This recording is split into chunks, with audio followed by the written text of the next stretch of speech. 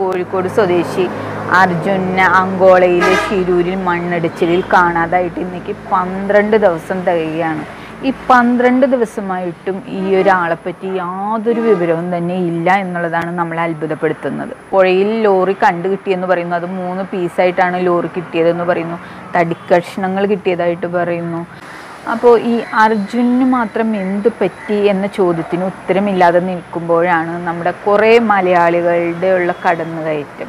ശിരൂരിലെ മണ്ണിടിച്ചിൽ നടന്ന പരിസരത്തോട്ട് കർണാടക പോലീസ് ആരെയും അടുപ്പിക്കുന്നില്ല. ഏകദേശം ഒന്നര കിലോമീറ്റർ ഇപ്പുറത്ത് വെച്ച് റോഡ് ബ്ലോക്കഡ് ആണ്. എന്നിട്ടും ഇവിടുന്ന് മലയാളികളുടെ കുത്തൊഴുക്കാണ് കർണാടകയിലേക്ക്. എന്തിനു വേണ്ടി? അതാണ് ഞാൻ ചോദിക്കുന്നത്.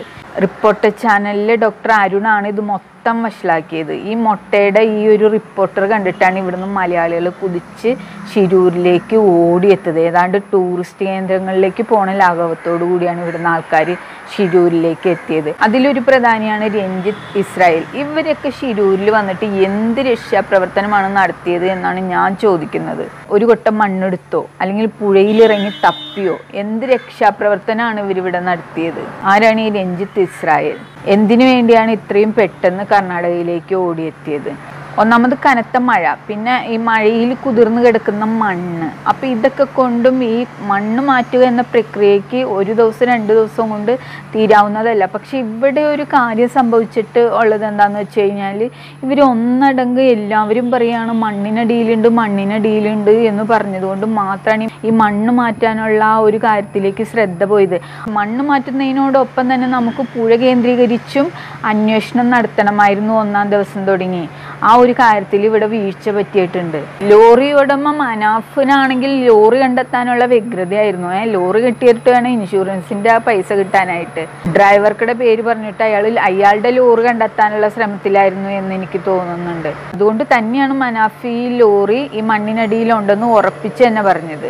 ഈ ഒരു മണ്ണ് നീക്കം ചെയ്യുന്നതിനോടൊപ്പം തന്നെ പുഴയുടെ ആ തീരങ്ങൾ കേന്ദ്രീകരിച്ച് ഒരു അന്വേഷണം കൂടി നടത്തിയിരുന്നെങ്കിൽ നമുക്ക് കുറച്ചും കൂടി എളുപ്പത്തിൽ അർജുനെ കണ്ടുപിടിക്കാമായിരുന്നു എന്ന് എനിക്ക് തോന്നുന്നു. പിന്നെ ലോറിയിൽ നിന്ന് ഒഴുകി വന്ന് കിട്ടിയ തടി എടുത്തു വെച്ച് മിണ്ടാണ്ടിരിക്കുന്ന കർണാടകക്കാരും അതും വലിയൊരു വീഴ്ചയായിരുന്നു. കാരണം ഇവർക്ക് എന്തെങ്കിലും കണ്ടിട്ടുണ്ടെങ്കിൽ അല്ലെങ്കിൽ എന്തെങ്കിലും ഒരു സംഭവം ഇങ്ങനെ ഒഴുകി ഈ ഒരു പുഴയിൽ കൂടി പോകുന്നതായിട്ടെങ്കിലും കണ്ടിട്ടുണ്ടായിരുന്നെങ്കിൽ ഇവർക്ക് ആർക്കെങ്കിലും ഒന്ന് പറയാമായിരുന്നു. പക്ഷെ ഇതാരും കർണാടകക്കാർ ചെയ്തിട്ടില്ല. പോരാത്തതിനാണ് ഇവിടുന്ന് മലയാളികളുടെ കൂട്ടമായിട്ടുള്ള ഒരു എഴുന്നള്ളത്തും.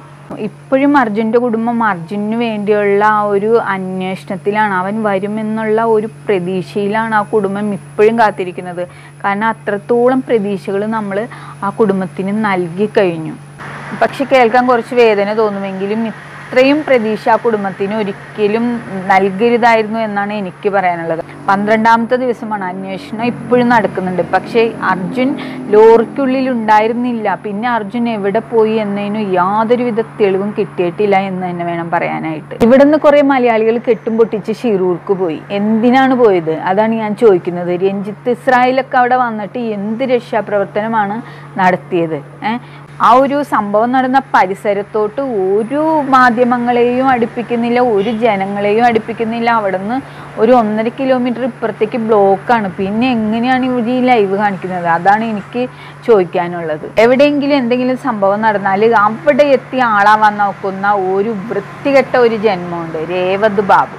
ഇവൻ എന്തിനാണ് ഇവിടുന്ന് അങ്കോളയിലെ ഷിരൂരിൽ വന്നത്? അതാണ് ഞാൻ ചോദിക്കുന്നത്. രേവത് ബാബു ഷിരൂരിൽ പോയിട്ട് എന്ത് ചെയ്യാനാണ്? ആളവൻ എവിടെ അവസരം കിട്ടുന്നു? അവിടെ പിടി എന്ത് കച്ചിത്തുരുമ്പ് കിട്ടിയാലും അവിടെ പിടിച്ചു കയറുന്ന ഒരു മുതലാണ് ഈ രേവത് ബാബു. കേരളത്തിൽ നിന്ന് രേവത് ബാബു ഉടനെ തന്നെ ഓടി ഷിരൂരിൽ ചെന്നേക്കണം. എന്നിട്ട് ചെയ്തത് എന്താണ്? ന്യൂസ് ചാനലായ റിപ്പോർട്ടറിന് ഒരു ബൈറ്റ് കൊടുത്തിരിക്കുകയാണ് എന്നിട്ട് പറഞ്ഞിരിക്കുന്നത് രക്ഷാപ്രവർത്തനം നടത്തുന്ന ആൾക്കാരെ സഹായിക്കാൻ വന്നതാണെന്നുള്ള വ്യാജേനയാണ് അവൻ ബൈറ്റ് കൊടുത്തിരിക്കുന്നത്. സത്യം പറഞ്ഞ ഇതുപോലുള്ള ഫ്രോഡുകളെയൊക്കെ വെച്ചിട്ട് ന്യൂസ് ഉണ്ടാക്കുന്ന. ഇത്തരം റിപ്പോർട്ടർ പോലുള്ള ഡോക്ടർ അരുണനെ പോലുള്ള ചാനലുകളൊക്കെ പണ്ടേ പൂട്ടിക്കെട്ട സമയമായി എന്ന് തന്നെയാണ് എനിക്ക് പറയാനുള്ളത്. തെറ്റിദ്ധരിപ്പിക്കുന്ന രീതിയിൽ വാർത്തകൾ കൊടുത്തിട്ട് ചാനലിന്റെ റേറ്റിംഗ് കൂട്ടാൻ വേണ്ടി മാത്രമാണ് അവിടെ ആ ഒരു ഡോക്ടർ അരുൺ ഇത്തരം നാടകം കളിച്ചത്. എന്നിട്ട് കാർവാർ എസ് പി ഈ അരുണിനെ മൊട്ട അരുണിനെ അന്വേഷിച്ചപ്പോൾ എന്തോ പുരസ്കാരം തരാനായിട്ട് അഭിനന്ദിക്കാനാണ് ഈ മൊട്ടേനെ എസ് പി അന്വേഷിച്ചത് എന്ന രീതിയിൽ ഈ റിപ്പോർട്ടർ ചാനൽ പറഞ്ഞുണ്ടാക്കി. സത്യം പറയാലോ പറയാതിരിക്കാൻ നിവർത്തിയില്ല വല്ലാത്ത ജാതി ന്യൂസ് ചാനലാണ് കേട്ടോ ഒരു മനുഷ്യനെ കേരളത്തിൽ നിന്ന് കാണാതായിട്ട് ഇന്നേക്ക് പന്ത്രണ്ട് ദിവസമാകും. എന്നിട്ട് ആ ഒരു വിഷയം വെച്ചിട്ട് തെറ്റിദ്ധരിപ്പിക്കുന്ന രീതിയിൽ തന്റെ ന്യൂസ് ചാനലിന്റെ ഒരു വ്യൂ കൂട്ടാൻ വേണ്ടി അല്ലെങ്കിൽ റേറ്റിംഗ് കൂട്ടാൻ വേണ്ടി ഡോക്ടർ അരുൺ കളിച്ചിട്ടുള്ള ഈ പൊറോട്ട നാടകം നമുക്ക് ഒരിക്കലും അംഗീകരിച്ചു കൊടുക്കാൻ പറ്റില്ല എന്ന് പറഞ്ഞാൽ ഒരിക്കലും അംഗീകരിച്ചു കൊടുക്കാൻ പാടില്ല.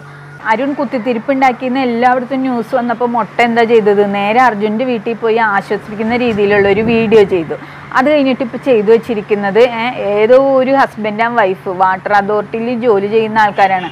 അവർ വന്നിട്ട് ഞാൻ ഇരുപത്തിനാല് മണിക്കൂറും റിപ്പോർട്ടർ ചാനൽ കാണുന്ന ആളാണ്. ഒട്ടേ ഇല്ലായിരുന്നെങ്കിൽ ഈ ലോകം തന്നെ ഉണ്ടാവില്ല എന്ന രീതിക്ക് രണ്ടുപേരെ ഒരു ഹസ്ബൻഡ് ആൻഡ് വൈഫിനെ കൊണ്ടുവന്നിട്ട് ഇപ്പോൾ വാർത്ത വിട്ടിരിക്കുന്നത് നാണമുണ്ടോ റിപ്പോർട്ടർ ചാനലിലെ മൊട്ടേ നിങ്ങൾക്ക് എന്ന് എനിക്ക് ചോദിക്കാനുള്ളൂ.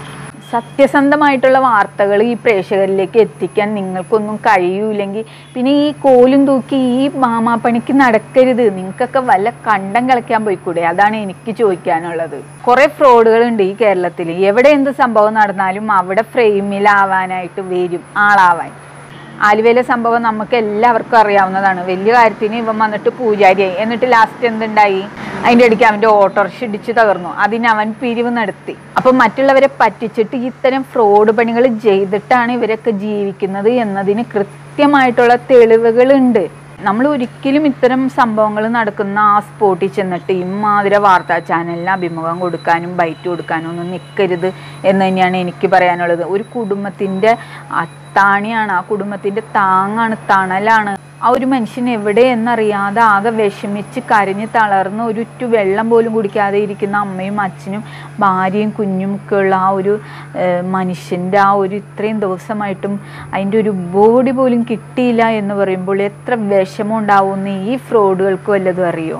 ഇവൻ എന്താണ് വേണ്ടത്? ഈ റിപ്പോർട്ടർ പോലെയുള്ള ഇത്തരം ഇത്തരം ഫ്രോഡുകളെ വിളിച്ചു നിർത്തി അവരുടെ ആ ഒരു ബൈറ്റ് എടുക്കുന്ന ഇത്തരം ഊളച്ചാനലുകളിൽ വന്ന് നിന്ന് ആളാവാൻ വേണ്ടിയിട്ടാണ് ഇവർ ഈ ഇല്ലാത്ത കാശുണ്ടാക്കി ഇവിടെ നിന്ന് നേരെ വണ്ടി പിടിച്ച് ഈ സംഭവ സ്പോട്ടുകളിൽ എത്തുന്നത്. രേവത് ബാബുവിനോടൊക്കെയാണ് എനിക്ക് ചോദിക്കാനുള്ളത്. നാണവും മാനവും ഉണ്ടോ രേവത് ബാബു നിനക്ക് എന്ന് തന്നെയാണ് എനിക്ക് ചോദിക്കാൻ. ഇത്തരം ഫ്രോഡ് പണികൾ മാത്രമേ നിന്റെ കയ്യിലുള്ളൂ. നാട്ടുകാരെ പറ്റിക്കുക അവരുടെ പൈസ പിരിക്കുക എന്നിട്ട് അതടിച്ച് ഞം ഞം അടിക്കുക. ഒന്നും അറിയാത്ത പോലെ ഞാനൊന്നും പറഞ്ഞില്ലേ രാമനാരായണ എന്ന രീതിയിൽ ഏതെങ്കിലും ചാനലിൽ വന്നിരുന്ന എന്തെങ്കിലുമൊക്കെ പറയുക. ഇത് മാത്രമല്ലേ നിനക്ക് പറ്റുള്ളൂ? കലാഭവൻ മണിയുടെ പേരും പറഞ്ഞ് നീ നടത്തുന്ന കോപ്രായങ്ങളൊക്കെ ഇവിടുത്തെ കേരളത്തിലെ ജനങ്ങളാണ് സഹിക്കുന്നത്. കലാഭവൻ മണിയുടെ ബെൻ ഹൺഡ്രഡ് എന്ന് പറഞ്ഞ കാറ് കഴുകിയും കലാഭവൻ മണിയുടെ പാട്ടുകൾ പാടിയും നിന്റെ ഓട്ടോറിക്ഷയ്ക്ക് കലാഭവൻ മണിയുടെ വാഹനത്തിന്റെ പേരൊക്കെ ഇട്ടിട്ടും ആണ് നീ ആളായത്. അത് നീ മറക്കരുത്. അല്ലാതെ എന്ത് നല്ല കാര്യമാണ് നീ ഈ സമൂഹത്തിന് വേണ്ടി ചെയ്തത്? ഇനി ആരും ഇതുപോലുള്ള സംഭവ സ്ഥലത്ത് ചെന്ന് നിന്നിട്ട് ഈ ഒരു തന്റെ മുഖം ഒന്ന് ചാനലിൽ വരാൻ വേണ്ടിയിട്ട് അല്ലെങ്കിൽ ചാനലിനൊരു ബൈറ്റ് കൊടുക്കാൻ വേണ്ടിയിട്ട് ഇങ്ങനൊന്നും ചെയ്യുക ചെയ്യ. കാരണം മനുഷ്യജീവനുകൾക്ക് വേണ്ടിയുള്ള തെരച്ചിലാണ്. ഒന്നല്ല ഒരുപാട് മനുഷ്യജീവനുകൾ ആ ഒരു മണ്ണിടിച്ചിലിൽ പുഴയിൽ പോയിട്ടുണ്ട്. ആരാണ് എന്താണ് ഇപ്പോഴും എവിടെയാണ് എന്നൊന്നും കണ്ടെത്താൻ കഴിഞ്ഞിട്ടില്ലാത്ത ഒരു സാഹചര്യത്തിൽ ഇതുപോലൊന്നും ആരും ചെയ്യരുത് എന്ന് പറഞ്ഞുകൊണ്ട് നിർത്തുന്നു.